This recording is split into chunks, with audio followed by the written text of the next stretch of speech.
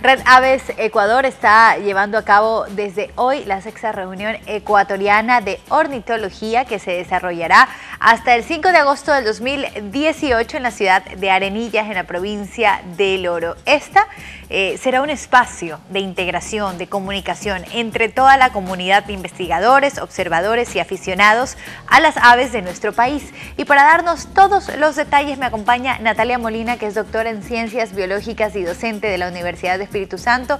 Nos acompaña hoy en Boga. Buenas noches, gracias Natalia por estar acá. Muchas gracias por la invitación. Eh, estamos muy contentos de ser parte de este evento científico que se realiza cada dos años en nuestro país. ¿Cuál es el objetivo principal entonces de este importante evento?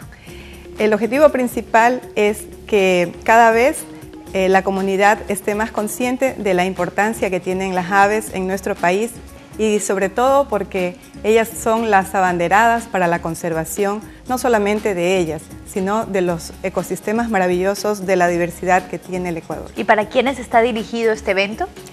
Está dirigido a, los estudiantes, a público en general, a los aficionados, a los científicos del Ecuador y de todo el mundo. ¿Cómo nace esta alianza con la UES?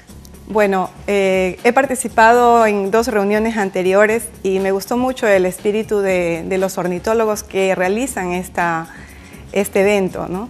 Y hace dos años estuve en Zamora y hace cuatro años fue en, en Carchi.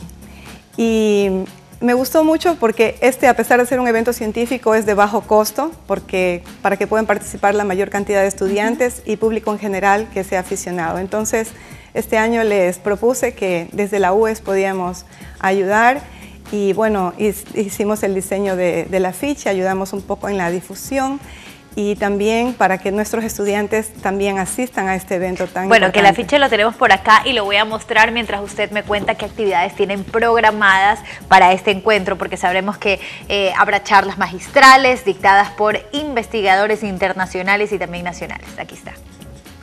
Eh, sí, bueno, justamente el, ave que se escogió es una ave endémica de la provincia del Oro, que es el perico de Orsés. Y mm, una de las actividades más lindas que hace eh, es las salidas de campo a las 5 de la mañana a diferentes partes de la provincia del Oro, en este caso, que por primera vez eh, se da en, en la ciudad de Arenillas.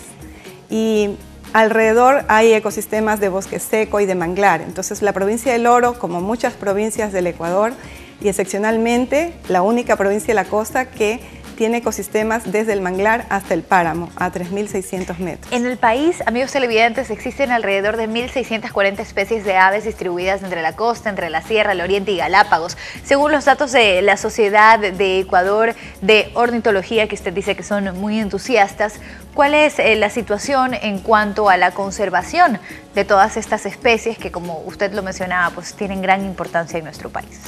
Quizás el mayor problema de la conservación es la constante fragmentación de los ecosistemas por asentamientos humanos, porque la densidad poblacional crece, porque se necesitan eh, eh, infraestructuras, carreteras y estas obras muchas veces fragmentan cada vez más los ecosistemas. Y ese es uno de los mayores desafíos. Eh, por eso es que en el Ecuador hay muchas iniciativas de hacer los corredores biológicos que las ciudades se conviertan en, corredores biológicos y por eso hay las iniciativas de que en las ciudades se siembren especies nativas para conectar estos ecosistemas que están fragmentados y que las ciudades no sean un stop para las aves, sino que sigan su camino. ¿Y sobre la ornitología en nuestro país, cuál es su percepción? Bueno, la ornitología en nuestro país eh, tiene estas iniciativas importantes, también el Ecuador tiene ciento nueve lugares que son declarados de importancia para las aves y bueno, también el Sistema Nacional de Áreas Protegidas aporta a esta conservación. Pero asimismo hay muchas especies en lista roja que justamente eh, los talleres previos eh, tenían esta connotación de tener estos talleres eh, para determinar cuáles son las especies que están en la lista roja, actualizar la lista y decir alerta. Por ejemplo, el papagayo de Guayaquil es un ave en peligro crítico de extinción, es el ave símbolo de nuestra ciudad y como esta, muchas otras, eh, como el perico de Orsés en el oro, eh, son catalogadas en peligro de extinción. ¿Cuál es el costo de la inscripción? Eh, cuesta 50 dólares para estudiantes 70 para profesionales y pueden inscribirse, bueno, como ya el evento empieza mañana, deben, pueden inscribirse directamente. Ya, para asistir entonces. Para asistir. Tienen la oportunidad todavía de hacerlo. Gracias por acompañarnos. Un gusto tenerla por acá, Natalia. Amigos televidentes, ustedes están muy bien eh, eh, informados ya al respecto. Y por si acaso, ¿dónde se puede obtener más información? En la página web reunión, eh, www.reunionornitología.wixsite.com. Perfecto, la tenemos en pantalla entonces, ahí pueden encontrar toda la información que requieran. Ahora sí, Natalia, gracias, no podía despedirme sin resaltar ese punto, sin pedirles información. Gracias por estar aquí, amigos televidentes.